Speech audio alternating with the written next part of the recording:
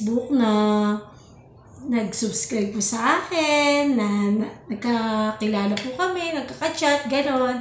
So, maraming salamat po sa pagsubaybay nyo sa akin kahit isa pa lang po akong mag-uumpisa sa aking YouTube channel.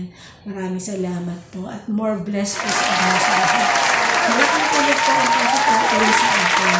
So, today, ah, magluluto po ako ng napakasimple. Siyempre, ano po ang mura ngayon? Ay, ang manok. Gagawin ko po siyang chicken fillet na gustong gusto ng ating pamilya. Lalo-lalo na sa mga kids. Yan. So, samahan niyo po akong gumawa ng chicken fillet.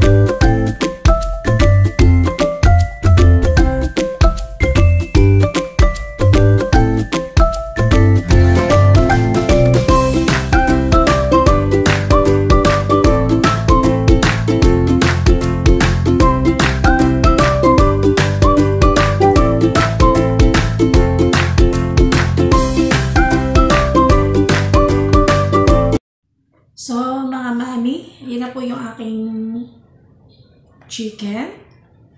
Hiniwa-hiwa ko na po yan. So, ngayon po ang gagawin ko po ay ang imamarinate ko po siya ng 12 oras para lum lumasa yung ating mga ingredients. So, mag-a-add din po ako ng mga ingredients. Ito po. Magic sarap. Para sumarap. 1 teaspoon. Siyempre po ang Maggi Sabor. Siya po yung nagpapakulay po sa ating chicken at nagpapalabas ng aroma ng ating filet. Yan. So, 1 teaspoon.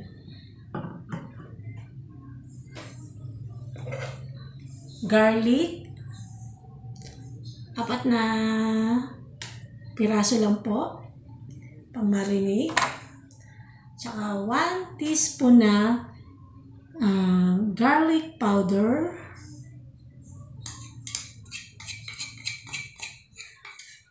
Ang bango po talaga ng garlic powder. Sarap ng amoy. So, ang ating white pepper.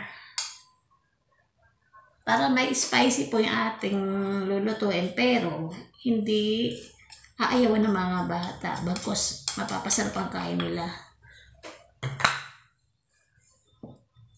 So, ito po, may apat tayong egg. Yung dalawang egg lang pong ilalagay natin kasi yung dalawa para doon naman po sa ating sauce.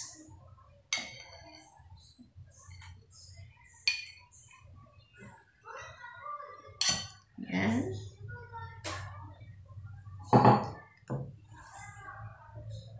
Haluin po natin maigi.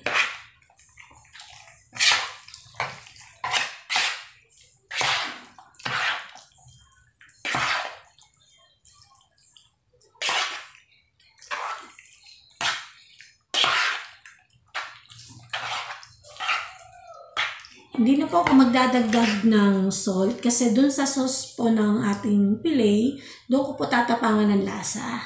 So mag add din po tayo ng isang kutsarang harina.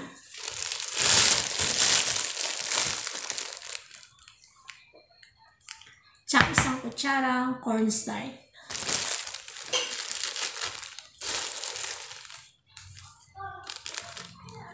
So, yan po.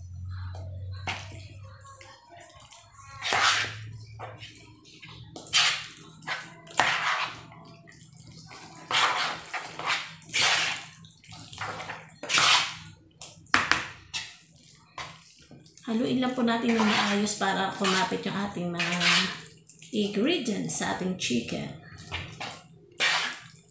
Gawin niyo po to sa inyong bahay.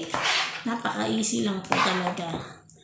Tsaka kung maraming kakainin ang inyong mga anak, mga paborito ng ating mga, chicken, gano'n.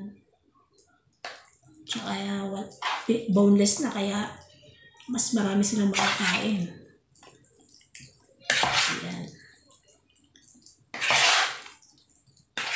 So, ito po ay ilalagay ko sa ref.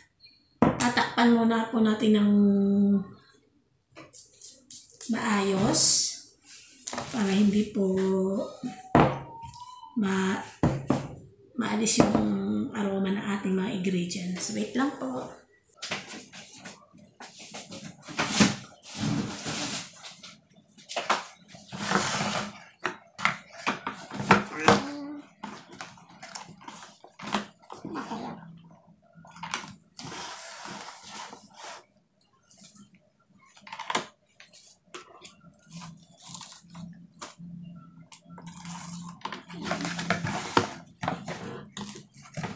Po natin maayos pa sumingaw.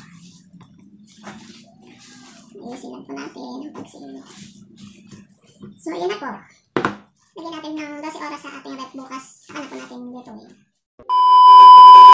So, mga mami, ito na po yung ating minarinade. Uh, filet, kahapon. Pinagsama-sama na po yung mga ingredients. So, kung maamoy nyo po ang bango niya, para ang sarap na po niyang kainin. So, ating ipa-fry na po to. Start na po tayo.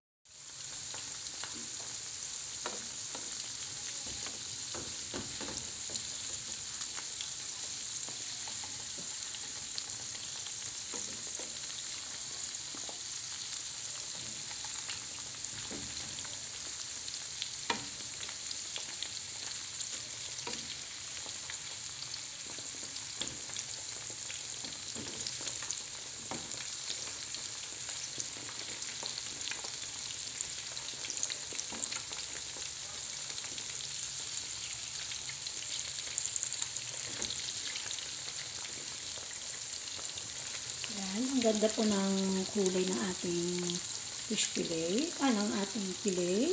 Sorry. Ito.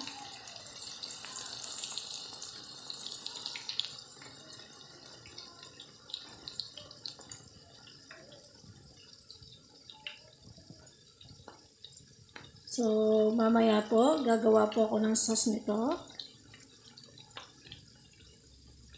Kaya panoorin niyo pong maigi.